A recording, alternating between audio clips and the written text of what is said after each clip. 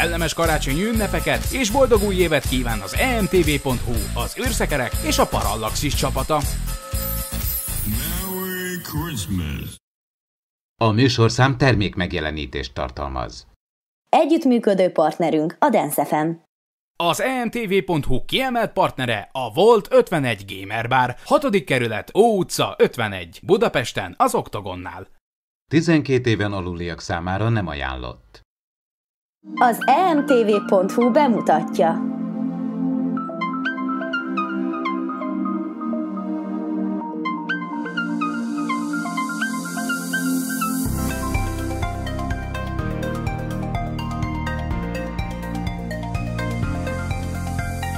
Ez itt a Parallaxis Light, az entv.hu és az űrszekerek tudományos és fantasztikus podcastjének külön kiadása. A fedélzeten Ádám, Csaba és Miklós.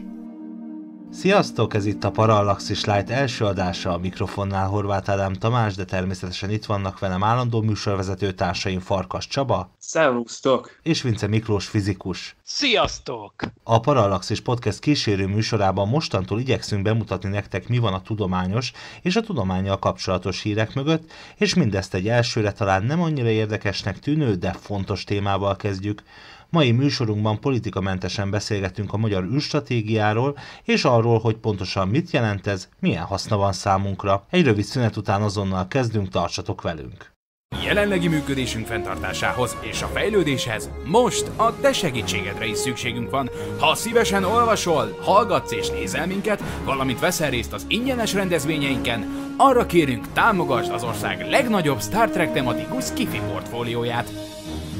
Támogasd az űrszekerek csapatát, csatlakozz az űrszekerek közösségi flottához, keresd a PayPal adománypontokat az űrszekerek.blog.hu-n, vagy kattints a Donate menüpontra, és támogasd szerkesztőinket, hogy a hazai trekker közösség eljusson oda, ahová rajongó még nem merészkedett. Köszönjük! Ajánló következik a Marsnak. Mondanám, hogy geotermikus mert hát akkor ebben benne van a geó szó. Tehát a Mars termikus, vagy görög isten volt a Mars, akkor lehet, hogy a latin megfelelő az az árész, ugye, akkor lehet, hogy areotermikus szónak kéne mondani, de most ne nyelvészkedjünk, nem tudom mi erre a terminus technicus.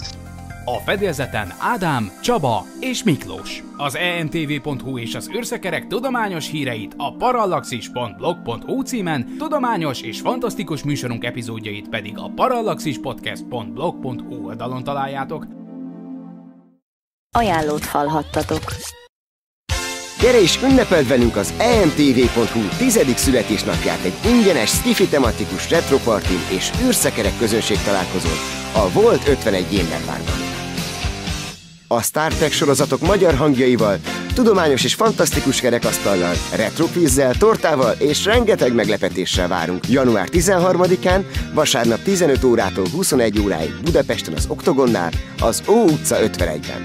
A belépés ingyenes. A folyamatosan frissülő részleteket keresd Facebookon és podcastjeinkben. Együttműködő partnerünk a Volt 51 Gamer Bar és a Direct Dub Studio.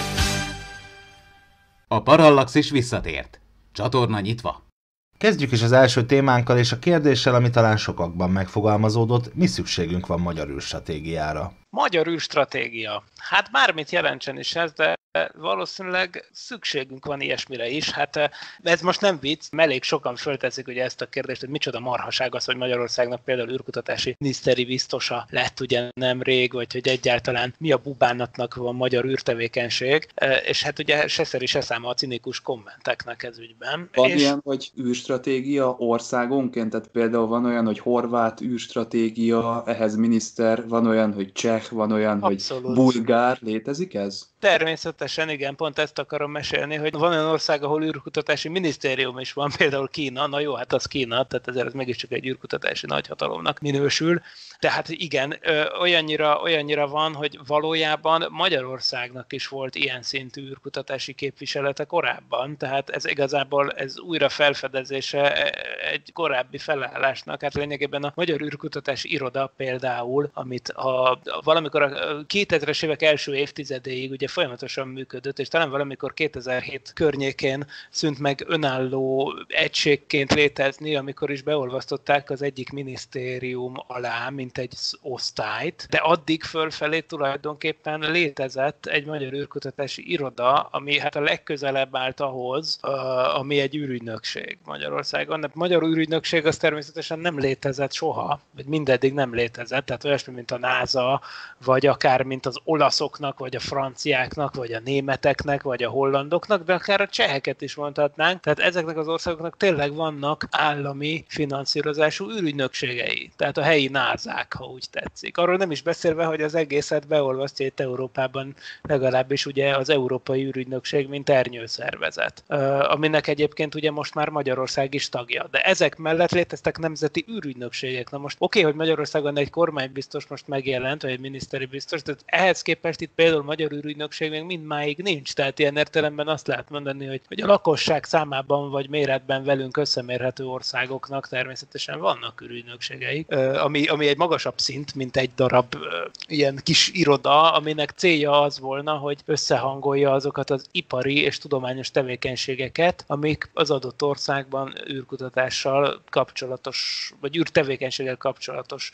Tehát én akarok valamilyen, mondjuk egy kis műholdat én fellőnék, akármilyen kutatási célral, akkor egyeztetnem kellene, vagy kell ezzel az űrkutatási szervezettel, ha jól értem. Tehát ők minden olyan területet lefednek, ami az űrrel kapcsolatos. Hát ez nem egy ellenőrző szerv, tehát nem erről van szó. Itt ugye, tehát bárki, úgy, bárki felbocsájtott egy műholdat, ha akar, mármint természetesen nem a kertjéből, de hogyha Magyarországon indul egy magánkezdeményezés, és ettől a szervezettől függetlenül akar valaki egy műholdat pályára juttatni, és megvan ehhez a megfelelő pénze, és befizeti, akkor ezt természetesen megteheti bármikor függetlenül. Itt igazából azt, azt, azt kell itt megérteni, hogy ugye Magyarország elsősorban például űrtevékenységünknek a nagy része az az Európai űrügynökséggel kapcsolatos, hiszen itt vagyunk Európában. Na most ugye az Európai űrügynökség úgy működik, hogy Magyarország évente befizet egy tekintélyes mennyiségű tagdíjat, ami tagdíjat egyébként az adott ország visszapályázhatja, és vissza is kell tulajdonképpen jutatni az adott országba, űripari fejlesztések formájában. Ugye ezért van az, hogy nem vesznek föl akárkit az Európai űrügynökségbe, hiszen van ez a szabály, hogy annak a pénznek a magyar gazdaságba vissza kell folynia,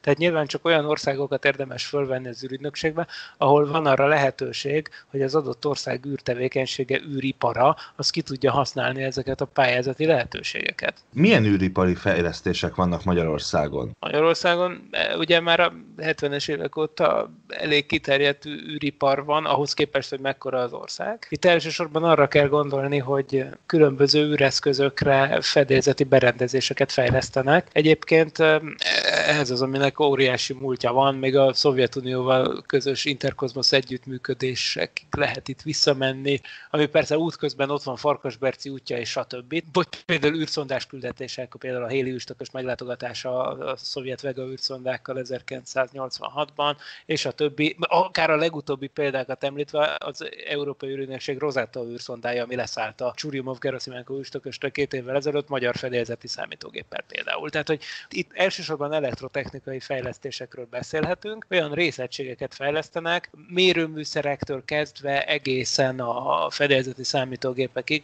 és még egy csomó minden más, mikrometeorit detektorok, stb. stb., amik aztán más országok űreszközeire kerülnek rá. De hát a Massatra például ugye mindenki emlékszik, ami az első magyar műhold. Ez olyan, mint az autóipar, hogy összedobjuk nemzetközileg az egészet. Kicsit olyan érzésem van. Persze, hát az űrkutatás ez természetszerűen nemzetközi. Tehát nyilvánvaló, hogy itt akkor a projekt van, amiket már egy Európán belül még a nagyobb országok sem tudnak egyedül kézben tartani. Úgyhogy itt mindenképpen, itt, itt egyszerűen kinőtték az űrkutatási együttműködések a nemzeti léptékeket. Most visszatérve arra, hogy például az első magyar műhold a MASAT, arra biztosan emlékeztek, a MASAT 1, ugye ez egy kis CubeSat, tehát egy egyetemisták által fejlesztett kicsi egy kilós műhold volt, amit egyébként az Európai űrügynökség a Vega rakétájának az első startján ingyen és bérmentve fölvitt, hiszen ez egy rizikós start volt, mert egy új rakétát próbáltak ki, és tökéletesen működött a maszat. Na, például azt ugye például a Műszaki Egyetem fejlesztette ki az űrkutató csoport, utána azóta azokból a fejlesztőkből konkrétan ki, kinőtt egy cég. Tehát ma már például van egy műhold fejlesztő cég, a C3S nevű cég, ez például egy példa egy magyarországi űripai cégre, ami már nem állami finanszírozású valami, és nem egyetem, bár egy egyetemből nőtte ki magát. Ha úgy tetszik, akkor ha azt is mondhatjuk, hogy az egyetem az tulajdonképpen egy korai inkubátora volt ennek a startupnak, hogy ilyen divatos kifejezéseket használják, amikből aztán műholdfejlesztési cég lett, amik most már persze kapják a rendes és a pályázatokon keresztül a megrendeléseket, és műholdfejlesztésekben vesznek részt. Ugyanúgy itt van a Bon Hungary Kft., ami szintén műhold elektronikákat szállít, és egyébként van még néhány ilyen cég, például ott van az Admatis Kft. például Miskolcon, aminek például fémhab és egyéb anyagtechnológiákban van nagy gyakorlata, ez szintén űrkutatáshoz kapcsolódó fejlesztési terület, és, és hát sok-sok ilyen cég van, de nem olyan rengeteg, és egyébként pont az lenne az egy, ha lenne egy magyar űrstratégia, aminekről mostanában egyre több szó esik, hogy ilyet kéne csinálni, annak épp az lenne a szerepe, hogy hogyan lehetne ebbe visszapályázási rendszerben minél több magyar céget bevonni. Tehát hogy, hogyan lehetne minél több, akár minél több olyan startupot létrehozni, mert ezek most már elérhető dolgok. Tehát ez most már nem a science fiction, tehát igenis elképzelhető, hogy mit tudom én, tíz egyetemista alapít egy startupot, ami valamiféle fedélzeti egység fejlesztésére specializálódik, és akkor bizony vannak erre források, és persze nem csak az Európai űrügynökségen keresztül, hanem egyéb lehetőségeken keresztül is nem reménytelen, hogy, hogy ilyesmik eljussanak az űrbe, amiket itt fejlesztenek. Szóval sok ilyen van, és ott van az ÉZA tagdíj, amit vissza kell pályázni, és hát ez az alapvető kérdés, hogy hogyan lehetne ezt a legeffektívebben megcsinálni. Ehhez is kell az űrstratégia, de persze ez csak egy része. A magyar űrstratégia, ha lesz, akkor mint ahogy de facto van, ugye csak nincs leírva, meg nincs végig gondolva az egész, de hát hagyományokról lehet beszélni, hát hagyományosan a magyar űrkutatóknak nagyon jó együttműködéseik vannak az oroszokkal, ugye az interkozmosz időkre visszanyúlóan, és akkor persze ott van a, természetesen az amerikai kapcsolat is. Arról persze órákat lehetne mesélni arról, hogy például a Csillagászati Kutatóintézet kutatói a NASA műholdakkal, amik például exobolygó kutatást végeznek, hogy milyen kiterjedt nemzetközi ügyet, együttműködésekben vannak benne. Például a kokáért, de hát akkor ott van a másik nagy sikersztori, ugye a PILLEF nevű sugárzásmérő berendezés, ami olyan sikeres lett, ez meg a Farkasberci repüléséhez fejlesztették ki az ősét, a kozmikus sugárzás fedélzeti kiértékelése egy volt a cél, ugye egy minél könnyebb eszközzel. Sikerült is egy egy kilós cuccot kifejleszteni egy olyan célra, amit korábban csak több száz kilós földi berendezésekkel lehetett megvalósítani. És ez egy akkora sikersztori, hogy ez azóta kb. mindent megjárt, ami ember repült az űrbe, tehát repült az amerikai űrrepülőgépeken, és most is fönt van a nemzetközi űrállomáson, de az amerikai modulban is fönt van, az orosz modulban is, és az európai modulban is fönt van. Tehát e, például ez is csak azt jelzi, hogy bizony elég sok együttműködés van, és hát persze időről időre újra megint felmerül, hogy a kínaiakkal is talán érdemes lenne együttműködni, egyrészt mert nagyon jönnek föl, másrészt pedig azért, mert például az indítási költségek elképzelhető, hogy alacsonyabbak a kínai rakétákon. Szóval mindenképpen érdemes egy ilyet összehozni rendesen, és akkor persze fölmerül kérdésként a magyar űrhajós, mint kérdés, hogy ilyen kell-e, vagy legyen-e. Tehát nyilván a közönség érdeklődését leginkább ez. Szerintem legyen, meg. én azt mondom. Ja, ja, ja, ja. De most az a vicc, hogy most már ennek ilyen értelemben nincs akadálya, mert mióta Magyarország belépett az Ézába, onnantól kezdve ti is, meg én is, minden magyar állampolgár, aki megfelelő képzettségi, meg korhatárokon belül van, az jelentkezhet az Európai űrügynökség űrhajós válogatása. Ádám, akkor menjünk szerintem. A múltkor úgy is kitettünk egy kompos képet, hogy kivel ragadnál szívesen egy űrkomban. Most ezt megtehetjük akkor. Miklós, mi lenne számunkra a legjobb űrstratégia? Hát az űrstratégiának nyilván e, van egy olyan oldala is, ami nagyon fontos, nyilván, az, az hogy hogyan hasznosulnak az űrkutatási befektetések túl a gazdasági hasznon. Tehát nyilván a GDP-t pörgeti, e, oké, okay, hogy a magyar űripari cégek visszapályázzák a pénzüket. Remek. De most ezen túl nyilvánvaló, hogy ennél sokkal nagyobb a társadalmi impaktja az űrtevékenységnek. Tehát ott vannak olyan rutinszerű területek, mint például a termésbecslés, vagy a katasztrófa előrejelzés, vagy például ilyen földmérési feladatok is, hogy hol vannak a telekhatárok, amiknek a megállapítása egyébként a kozmikus geodézia nélkül az úgy kb. lehetetlen feladat lenne, most viszont ugye elég könnyű. Arról nem is beszél, hogy a klímakutatással összefüggő területeken is milyen fontos az űrkutatási, tehát műholdas input. Tehát ez a rengeteg adat, amikhez mi hozzáférhetünk azok révén, hogy benne vagyunk ezekben az együttműködésekben. Tehát olyannak kell lennie a magyar űrstratégiának, ami nyilván maximalizálja a közvetlen társadalmi hasznot is, de emellett persze ezeket az innovatív elemeket is, amiknek aztán hosszú távon lesz gyakorlati haszna. Tényleg azt is lehet mondani, hogy stratégiai haszna. Hát valahol az egy stratégiai elem, hogy egy ország az tud fejleszteni például műholdakat. Ez nyilvánvaló egy olyan képesség, ami, amivel jó dolog rendelkezni. Persze nem hoz feltétlenül önmagában közvetlen gyakorlati hasznot, mert lehet, hogy majd csak 10-20 év múlva derül ki az, hogy ez az egész, ez mire volt jó. Tehát ez részben az innováció, részben, és még inkább az alapkutatás, amiről itt azért tekintélyes részben szó van. Ezek olyan területek, amik, amik egyrészt bizonyos szempontból kockázatos befektetések, másrészt viszont nagy haszonnal kecsegtetnek, de viszont az a nagy haszon az jellemzően hosszú távon nyilvánul meg. És az űrkutatás az tipikusan egy ilyen terület. És ezért van az, hogy az űrkutatásból a jellegéből fakadóan a magánszektor erősödése mellett az űrkutatás azért mégiscsak állami kézbe való bizonyos szempontból. Mert egyszerűen a magáncégek nem feltétlenül tudnak ilyen hosszú távon megtérülő és kockázatos befektetéseket feltétlenül bevállalni. Mint hogyha arra gondolunk, hogy például Kolumbusz Kristóf, amikor elindult felfedezni az új világot, hát akkor nyilván kornak a legjelentősebb pénzügyi hatalma állt mögötte. Ő nyilván nem tudott volna ő a saját pénzéből, vagy akár egy vállalkozás pénzéből útra kelni, mert ugyan óriási lett a haszna, tehát ugye felmérhetetlen nagy hasznot hajtott az új világ felfedezése minden szempontból, viszont óriási volt a költség is, és óriási volt a kockázat, hogy az egész nem hoz semmi kézzelfogható eredményt, mint hogy valószínűleg 10 expedícióból 9 nem hozott semmiféle eredményt, csak azok nincsenek benne a történelemkönyvben. Tehát, hogy ezért az űrkutatás az tipikusan egy ilyen terület. Csak országok, vagy tényleg ilyen ország méretű ipari koncernek, mint amivé például az Elon Musk féle Space SpaceX kinövi magát, tényleg csak országok tudnak bevállalni ilyeneket. Ráadásul egy kicsi, szerény anyagi forrásokkal rendelkező ország esetében, mint Magyarország, ez még, még inkább egy kruciális kérdés, és mennyit és hogyan szabad bevállalni. Hát én, én úgy gondolom, hogy például a magyar űr, űrhajós az egyáltalán nem kell, hogy egy cél legyen. Tehát ennek igazából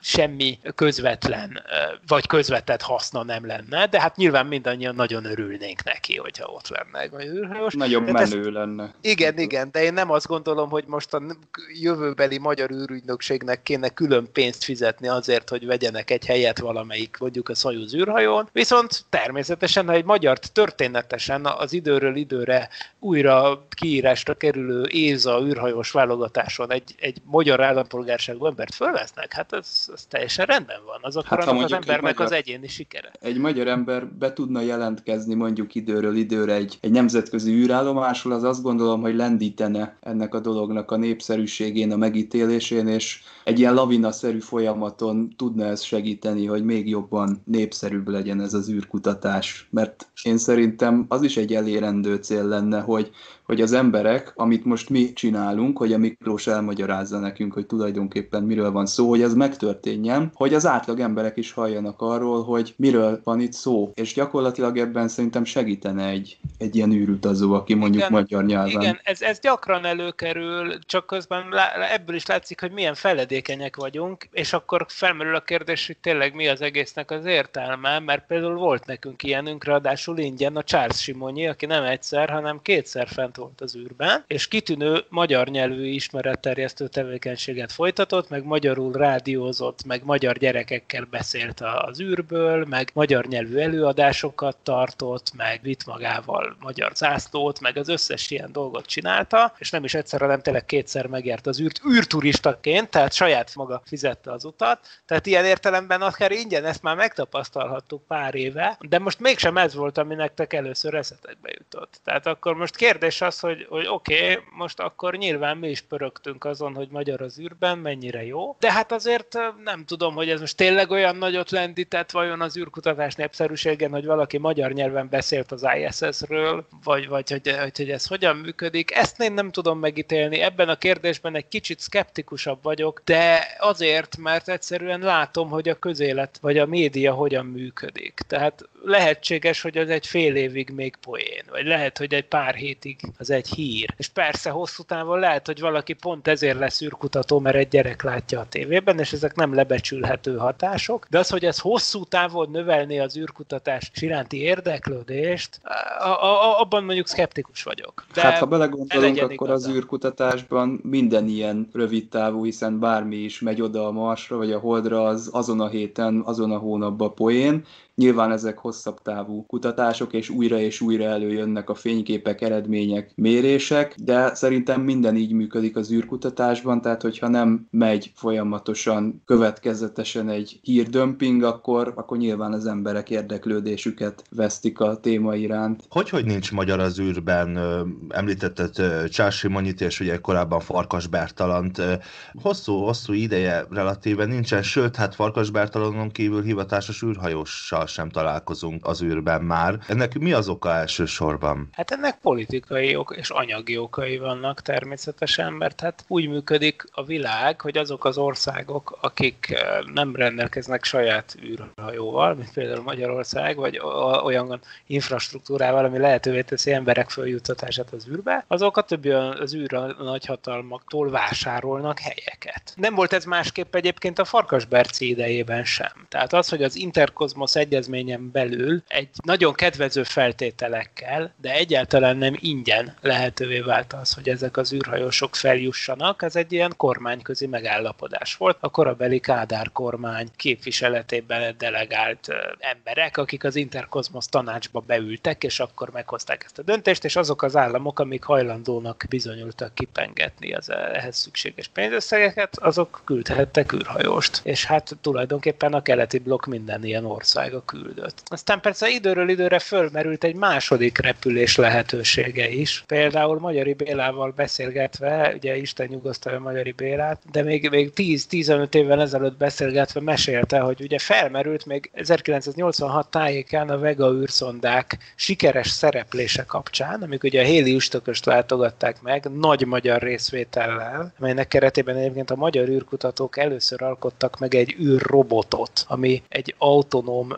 kamera mozgató mechanizmus volt, ami követte az üstököst, hogy le tudják fényképezni. Na, ezt a KFKI kutatói építették meg. Na, és annyira jól sikerült ez a részvétel, nemzetközileg máig úgy visz, hivatkoznak erre az űrszondára, hogy ez egy szovjet-magyar-francia misszió volt ebben a sorrendben. Tehát, hogy nagyon jól sikerült, és akkor felmerült, hogy hát azzal megjutalmazni úgymond a magyar űrkutató társadalmat, hogy még kedvezőbb feltételekkel esetleg mehetne még egy magyar egykört. Ugye ezt Magyari Béla örömmel vette tudomásul, hiszen ő akkor még repülőképes volt, és repülő státuszban volt, és természetesen nyilván adta volna magát a lehetőség, hogy akkor ő, Farkas Bertalan tartaléka, lett volna a következő magyar űrhajós. De hát aztán a politika más irányt vett, meg ugye nem sokkal ezután következett a Gorbacsovi változások világa, majd pedig a Szovjetunió összeomlása. Ugye Gorbacsov idején bejött a, a perestroika, az a gazdasági megújítás politikája, mert a Szovjetunió gazdaságának iszonyatosan nagy szüksége volt nyugati valutára. És pontosan ez volt az a pillanat, amikortól kezdve a szovjetek azokat a üres helyeket, amik voltak az űrhajóikon, azokat inkább jó pénzért eladták fizetős nyugatiaknak, akik hoztak valutát. Tehát ez volt az a pillanat, amikortól kezdve például osztrák űrhajós repült 1991-ben, Franz Fibök,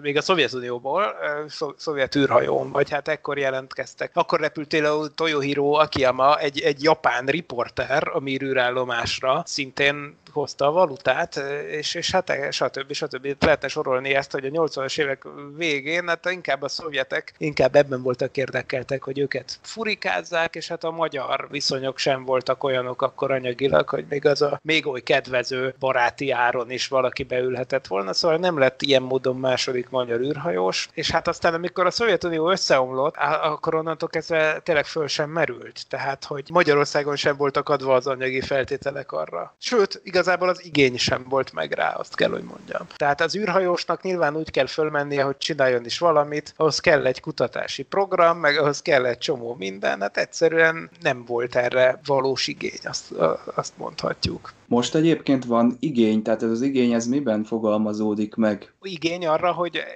űrbe repüljön mondjuk egy magyar? Igen, tehát a társadalom úgy érezzük, hogy óhajtaná azt, hogy foglalkozzunk egyáltalán űrkutatással, hogy energiát fektessünk bele, és hogy legyen ott magyar. Nézzétek, szerintem a társadalom jelenleg olyan állapotban van, hogy kifejezetten rosszul sülne el, hogyha most valaki be akarna fizetni egy magyar űrhajóst. Tulajdonképpen azt mondanám, hogy jogosan jelennének meg olyan kommentárok, akik azt mondják, hogy hát itt az egészségügy, meg az oktatás, meg az én nem tudom, hogy micsoda, hogy miért nem oda megy a pénz.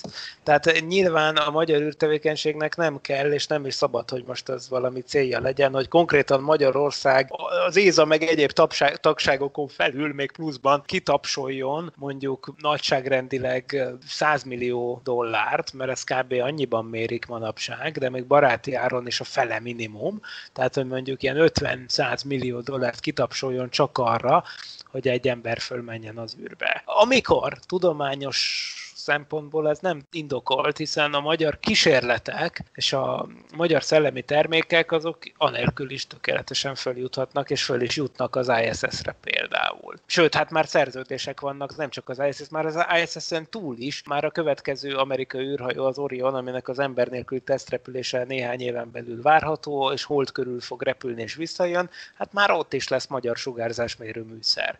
Tehát e, tulajdonképpen ezek a kapuk nyitva vannak. És e, a, a magyar tudományos közösségnek mindenképp inkább az az érdeke, hogy a pénzt arra költsék, hogy a magyar műszerek eljussanak oda, és nem arra, hogy a magyar emberek. Tehát inkább itt ez jelenik meg. Tehát, hogyha lenne valami ilyen, az egy politikai dolog lenne kizárólag. Hogy magyar embert az űrbe, annak nincsen, nincsen más értelme, esetleg az általad említett uh, tudománynépszerűsítő aspektus. Itt van ez a miniszteri biztos. Neki a kinevezése milyen következményekkel fog járni, mit csinál ő, illetve mi lesz az ő első lépése, amikor hivatalba lép vajon? Dr. Ferenc Orsolya Ildikóról beszélünk, akkor már rájön itt, aki az MTA ELTE űrkutató csoportnak a tudományos főmunkatársa. És neki az egyik legfontosabb feladata, hogy például az emlegetett Európai űrügynökségben ő a magyar delegációnak úgymond a vezetője. Tehát ez azt jelenti, hogy amikor az Európai űrügynökség döntéseket hoz, akkor természetesen vannak ott tagállami, tagállamoknak is van ebbe beleszólásuk. A magyar érdekek képviselete ezekben a döntéshozatali folyamatokban az az ő, meg az ő által kijelölt embereknek a feladata lesz. Ez egy fontos feladat, és emellett persze tényleg azt várják tőle, hogy, hogy dolgozza ki a már emlegetett űrstratégiát. Az űrstratégia tényleg arról szólna, hogy, hogy ebben a furcsa helyzetben, hogy itt az amerikaiak, az európaiak és az oroszok felé is nyitva azt a szerény magyar űrköltségvetést, azt jó, jól elosszuk a különböző pályázatok elbírálására egy átlátható támogatási rendszert kiépítve. Tehát például lesz egy magyar űrköltségvetés, és akkor lesz egy pályázati rendszer, ahol a rend, egyetemek, kutatóintézetek, cégek, stb. pályázhatnak pénzekért, és hát akkor kell, hogy legyen egy egységes és átlátható elbírálás. Tehát az elbírás szempontjai, hogy mi alapján bírálnak el valamit, hát az már része ennek magának, ennek a magyar űrstratégiának, de amikor Ferenc Orsolya előadását hallgattam két hónapja egy űrkutatási rendezvényen az MTA-n, akkor érdekes volt, hogy ott ő emlegette a katonai felhasználásokat is, hogy még arra is hangsúlyt kell fektetni, és az is egy fontos eleme kell, hogy legyen a magyar űrstratégiának, hogy például a honvédséggel való együttműködés.